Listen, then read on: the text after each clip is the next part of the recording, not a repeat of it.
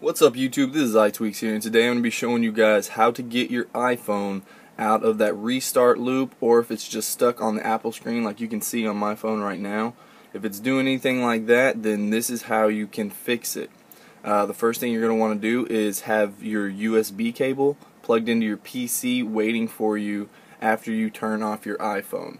Now you can't just hold the power button because it's not going to give you the slider up at the top when it's doing this. So you're just going to do it like you would if you were going to restart. So hold the power button and the home button. And sometimes it does take a couple of uh, tries to get this exactly right, but you just want it to turn off. You don't want it to restart, and you have to be pretty quick when the logo goes away. Alright, so I got the device turned off, and now what you want to do is you want to hold down the home button, just like that, and grab your USB connector that is connected to your PC and plug it in. And you should hold it down until you get an iTunes logo. Done. Okay. Now I'm going to switch over to my monitor here. Alright guys, so this is what you should see.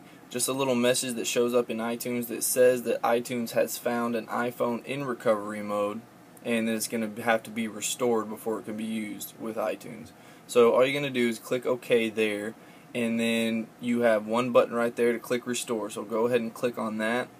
It's possible that you will have to download iOS 6 uh, and that could take some time. So once that's done downloading, just go ahead and do this again and restore it.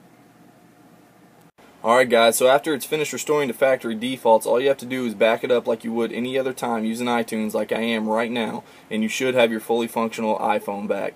Let me know in the comments below if this helped you out. If you have any other questions, please let me know and I'll be sure to help you out as soon as possible. If you enjoy my videos and want to see more, please hit that like button and subscribe for future videos. Until next time guys, peace.